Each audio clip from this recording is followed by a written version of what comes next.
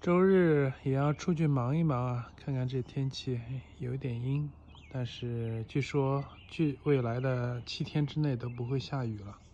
老百姓们也在这里跑步，看，多么美好的一个周日啊！先来做的事情就是这个七十多万帮印度帅哥买的房子没法过户，就是因为化粪池还没有修好。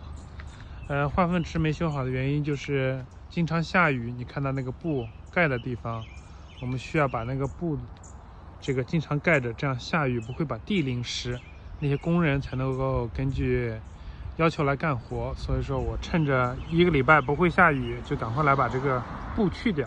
这个化粪池需要的面积大概也是相当于六米乘六米吧。你看，我们从超市买的大布，把这个地方都盖住。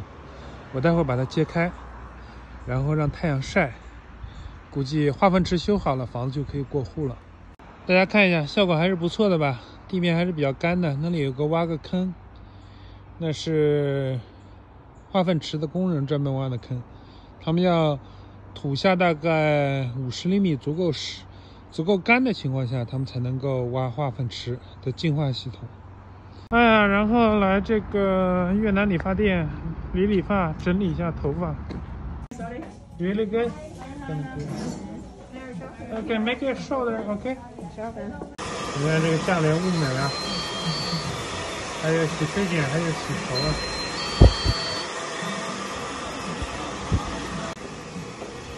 看我的那个美女理发师等着收钱啊。那今天最后一个节目就是过来买奶茶，找美女买奶茶，看美女背影分的。